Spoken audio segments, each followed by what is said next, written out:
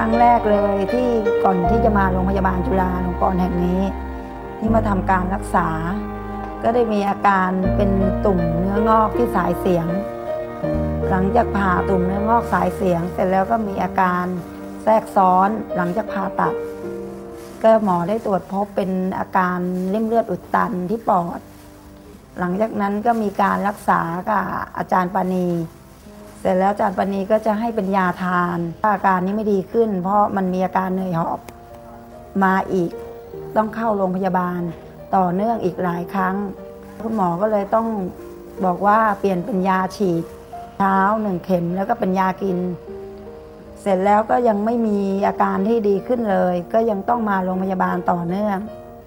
จนอาจารย์ปณีก็บอกว่า หลังจากนั้นก็ต้องมาเพิ่มยากันอีกแล้ว ก็รักษาต่อเนื่องมาเป็นเวลาหลายปี ก็ฉีดยามาเช้าเย็นอาการก็จะเริ่มดีขึ้น แล้วพร้อมที่จะอาจารย์วันนี้ก็ได้บอกว่าต้องมีอาการให้เลือดเป็นวิธีรักษาเพิ่มอีกหนึ่งวิธี ให้เลือดทุกหนึ่งเดือน หลังจากที่ได้ทั้งเลือดทั้งยา ชีวิตก็อยู่มาได้ค่ะ ก็ดีขึ้นกว่าเดิมเยอะ หลังจากที่มีอาการเหนื่อยก็ไม่มี หลังที่แบบว่าเราจะทำงานอะไรไม่ได้ เราก็มาทำได้ และหลังจากนั้นอาการเราก็จะดีขึ้นเรื่อยๆ จะเรามาใช้ชีวิตประจำวันอะไรของเราได้แบบคือปกติ อย่างทางบ้านทางครอบครัว พ่อแม่แล้วก็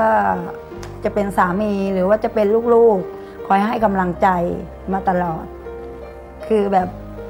โรคนี้มันต้องหมอบอกต้องใช้เวลาเวลายาวนานที่จะต้องรักษา อาจจะตลอดชีวิตเลยก็ได้ แต่กำลังใจตรงทางบ้านเนี่ยค่ะ ซึ่งดนบันดาลให้เราแบบมีชีวิตอยู่ได้ทุกวันนี้ แล้วก็สำหรับคุณหมอด้วยค่ะ ที่เป็นกำลังใจที่ดีให้ แล้วก็รักษาเราดูแลเราอย่างดีมาตลอด ถึงทุกคนที่จะเป็นโรคอะไรก็ตามแต่ ตรงจุดนี้อย่าได้ไปวิตกเลย เพราะว่าสามารถแบบว่าที่เราจะอยู่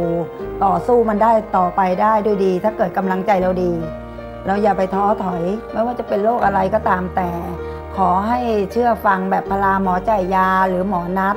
หรือว่าการกินยาต่อเนื่องเชื่อฟังที่หมอบอก แล้วทุกคนจะประจบประสบความสำเร็จแก่ชีวิต ทุกคนค่ะ